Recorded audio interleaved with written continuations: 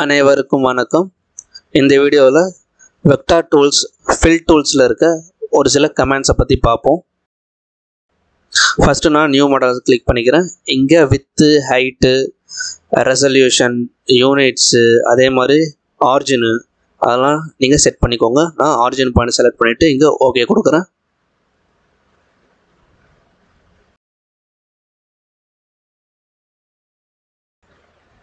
இப்போ நாம் first fillet அந்த கமெண்ட்டை பற்றி பார்ப்போம். அதுக்கு முன்னாடி நான் வந்து ஒரு ரெக்டாங்கிள் நான் ட்ரா பண்ணிக்கிறேன். இப்போ இங்கே ரெக்டாங்கிள் நான் ட்ரா பண்ணிக்கிறேன். கிரியேட் கொடுத்துட்றேன். க்ளோஸ் ஓகே இப்போ ஃபில்லட் ஃபில்லட்டில் பார்த்தீங்கன்னா மொத்தம் நாலு டைப்ஸ் இருக்குது ஒன்று ஒன்றா பார்ப்போம். ஃபஸ்ட்டு ஃபில்லட் ஆர்க் நீங்கள் ஃபில்லட்டில் இங்கே ரேடியஸ் கூட மென்ஷன் பண்ணிக்கலாம். நான் இங்கே டூன்னு மென்ஷன் பண்ணிக்கிறேன். ரெக்டாங்கிள் எவ்வளோ சைஸில் இருக்கோ அந்த சைஸுக்கு ஏற்ற மாதிரி நீங்கள் இங்கே ரேடியஸை மென்ஷன் பண்ணிக்கோங்க. நான் என் ரேடியஸ் என்னோட ரெக்டாங்கிள் சின்னதுன்றதுனால நான் டூ எம்எம் கொடுத்துக்கிறேன். இப்போ ஃபில்லட் ஆர்க்குன்றப்போ நாம் ஜஸ்ட்டு இந்த டூ பாயிண்ட்ஸ் செலக்ட் பண்ணால் போதும். நம்மளுக்கு ஃபில்லட் கிரியேட் ஆகிடும் ஓகே அடுத்தது டாக் போன் இது நான் செலக்ட் பண்ணிக்கிறேன். இப்போ டாக் போன்றது பார்த்தீங்கன்னா இந்த மாதிரி இருக்கும்.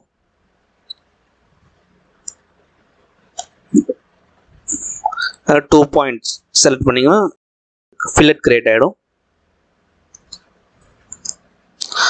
இங்கே மொத்தம் நாலு டைப் இருக்குது ஃபில்லட்டு ஃபஸ்ட்டு ஃபில்லட் ஆர்க் அடுத்து டாக் போன் அடுத்து T bone T bone X external arc இப்போ டீ போன் பார்த்தீங்கன்னா இந்த மாதிரி இருக்கும். ஜஸ்ட்டு டூ பாயிண்ட் செலக்ட் பண்ணிக்கோங்க.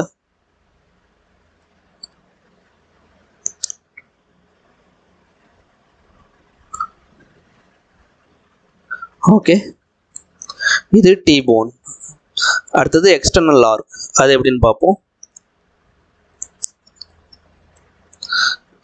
இந்த பாயிண்ட் இந்த பாயிண்ட் மறுபடியும் இந்த பாயிண்ட் இந்த பாயிண்ட்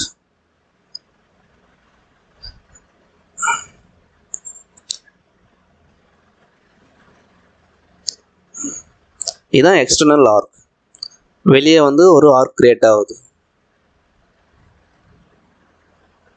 அடுத்தது லைன் டு இன்டர்செக்ஷன் அது எப்படின்னு பார்ப்போம். அதுக்கு முன்னாடி நான் ஒரு ரெண்டு லைன் ட்ரா பண்ணிக்கிறேன். பால் லைன் யூஸ் பண்ணி ஒரு ரெண்டு லைன் ட்ரா பண்ணிக்கிறேன்.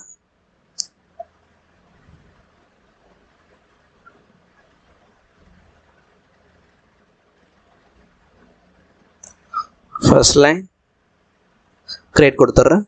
மறுபடியும் பாலி லைன் செலக்ட் பண்ணிக்கிறேன். செகண்ட் லைன் க்ரியேட் க்ளோஸ் இன்னும் மறுபடியும் fillet ஃபில்லட்டில் extend trim line to intersection அதை நான் செலக்ட் பண்ணிக்கிறேன். இந்த ஏதாவது ரெண்டு பாயிண்ட் செலக்ட் பண்ணிக்கிறேன். ரெண்டு பாயிண்ட் செலக்ட் பண்ணும்போது ஆப்போசிட்டில் இருக்கிறது ட்ரிம் ஆகிடும் அதான் இன்டர்செக்ஷனில் இருக்கிறத. நம்ம ட்ரிம் பண்ணுறதுக்கு இந்த கமாண்ட் ஓகே அடுத்தது ட்ரிம் கமாண்ட் பார்ப்போம். ஆட்டோ ஜாயிண்ட்டை நான் எடுத்து விட்டுறேன் இப்போ நான் ட்ரிம் பண்ணுறேன் இப்போ க்ளோஸ் இப்போ பார்த்தீங்கன்னா இது ஒரு என்டிட்டி இது ஒரு என்டிட்டியாக இருக்குது ஏன்னா நாங்கள் ஆட்டோ ஜாயின்னு டிசேபிள் பண்ணிட்டேன். இப்போ மறுபடியும் ஆட்டோ ஜாயிண்ட்டை எனேபிள் பண்ணிவிட்டு இப்போ கட் பண்ணுறேன் க்ளோஸ் பண்ணுறேன் இப்போ பார்த்தீங்கன்னா இது ஒரே என்டிட்டியாக இருக்கும். பார்த்தீங்கன்னா தெரியும் முன்னாடி பண்ணதுக்கும் இப்போ பண்ணதுக்கும் டிஃப்ரென்ஸ் ஓகே அடுத்தது ஆஃப்செட்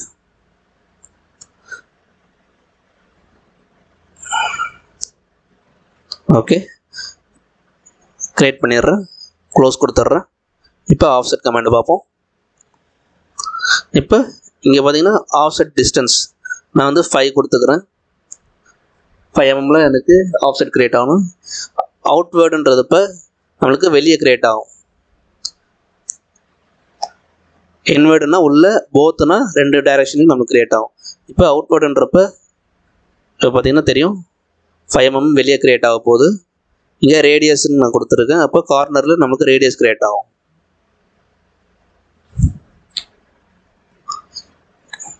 மறுபடியும் ஆஃப்செட்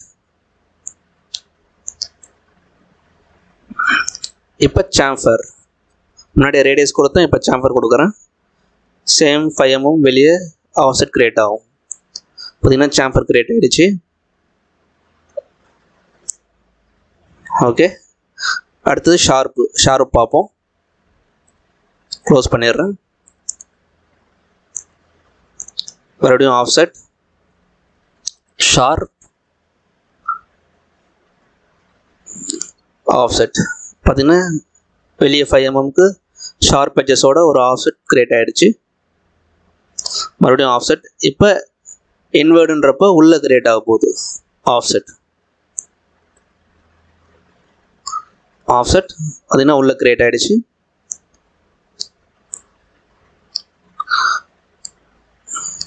ஷார்ப்னு கொடுத்தனால ஷார்ப்பாக நம்மளுக்கு உள்ள ஆஃப்செட் கிரியேட் ஆகிடுச்சு அடுத்து மறுபடியும் ஆஃப்செட் போத் போத் த சைடுன்றப்ப ரெண்டு பக்கமும் நமக்கு ஆஃப்செட் கிரியேட் ஆக போகுது. அதனால ரெண்டு பக்கமும் நம்மளுக்கு உள்ளேயும் வெளியும் ஆஃப்செட் கிரியேட் ஆகிடுச்சு போத்துன்னு கொடுத்ததால. இங்கே நான் வந்து டெலிட் ஒரிஜினல் வெக்டார்ன்றப்ப நம்ம எதை ஆஃப்செட் பண்ணுறோமோ அந்த ஒரிஜினல் வெக்டார் டெலிட் ஆகிடும் இப்போ மறுபடியும் நான் பண்ணுறேன் பார்த்தீங்கன்னா தெரியும். ஒரிஜினல் டெலிட் ஆகிடுச்சு உள்ளேயும் வெளியும் பண்ண வேண்டிய ஆஃப்செட் கிரியேட் ஆகிடுச்சு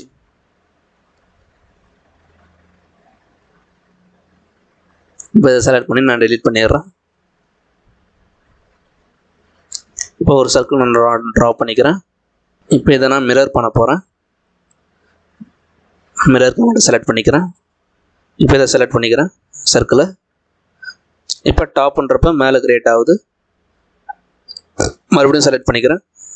இப்போ left side left side create ஆகிடுச்சு மறுபடியும் செலக்ட் பண்ணுறேன் இப்போ பாட்டம் மறுபடியும் செலக்ட் பண்ணுறேன் இப்போ ரைட் மறுபடியும் சர்க்கிளை செலக்ட் பண்ணிக்கிறேன். இப்போ ஓவர் மாடல்ன்றப்ப அந்த சர்க்கிளுக்கு மேலேயே நம்மளுக்கு அந்த மிரர் கிரியேட் ஆகும். இப்போ அக்ராஸ் மாடல்னால் கரெக்டாக ஒரு குறிப்பிட்ட டிஸ்டன்ஸ் வரையும் அந்த மிரர் கமாண்ட் கிரியேட் ஆகும். இப்போ ஒரு லைன் நான் ட்ரா பண்ணிக்கிறேன்.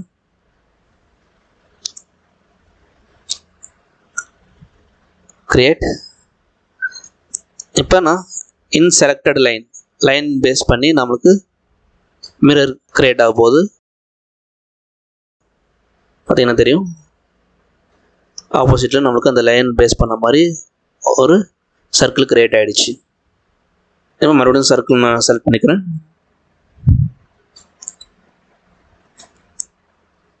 கிரியேட் க்ளோஸ் இப்போ பிளாக் அண்ட் ரோட்டேட் காப்பி இங்கே கேப்பு எக்ஸ் ஆக்சிஸில் கேப் பார்த்தீங்கன்னா ஃபைவ் எம்எம் கொடுக்குறேன். அதே மாதிரி ஒய் ஆக்சிஸில் செவன் எம்எம் கொடுக்குறேன். இங்கே காலம் இப்போ அப்ளை கொடுக்குறேன். பார்த்தீங்கன்னா ஃபோர் காலம்ஸ் த்ரீ ரோஸ்க்கு ஏற்ற மாதிரி நம்மளுக்கு இந்த சர்க்கிள் க்ரியேட் ஆகிருக்கு நம்ம கேப்பு எவ்வளோ கொடுக்கணும்னு இங்கே மென்ஷன் பண்ணியிருக்கோம். எக்ஸ் ஆக்சிஸில் ஃபைவ் எம்எம் கேப்பு அதே மாதிரி ஒய் ஆக்சிஸில் செவன் எம்எம் கேப்பு இங்கே ரொட்டேட் காப்பி அடுத்தது பார்ப்போம். இங்கே ரொட்டேட் காப்பி வைக்கிறேன். இப்போ த்ரீ சிக்ஸ்டி டிகிரிக்கு நம்மளுக்கு சர்க்கிள் க்ரியேட் ஆக போகுது. இங்கே total three sixty degree three sixty degree செலக்ட்ன்றப்ப நம்ம இதோட ஆரிஜின் பண்ண நான் செலக்ட் பண்ணிக்கிறேன். இங்கே நம்பர் ஆஃப் ஆப்ஜெக்ட் எனக்கு எயிட் ஆப்ஜெக்ட் கிரியேட் ஆகணும். பார்த்தீங்கன்னா எயிட் ஆப்ஜெக்ட் கிரியேட் ஆகிடுச்சு இந்த மாதிரி தான் பிளாக் அண்ட் ரொட்டேட் காப்பி கமெண்ட்டை யூஸ் பண்ணணும். ஓகே அடுத்தது ஒரு எஸ்பி லைன் நான் ட்ரா பண்ணிக்கிறேன்.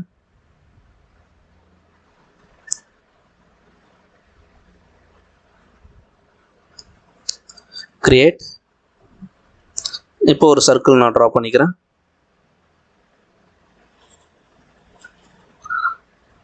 சின்னதாக ஒரு சர்க்கிள் நான் ட்ரா பண்ணுறேன் கிரியேட் க்ளோஸ்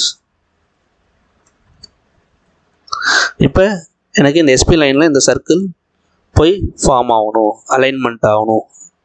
இப்போ நான் இங்கே பேஸ்ட் அலாங் தி க அலாங் ஏ கர்வ் இந்த கமாண்டை யூஸ் பண்ணி இந்த கர்வில் எனக்கு அந்த சர்க்கிள் க்ரியேட் ஆகும். இங்கே நான் த்ரீன்னு கொடுத்ததுனால முன்னாடி த்ரீ க்ரியேட் ஆகிடுச்சு இப்போ வந்து நான் வந்து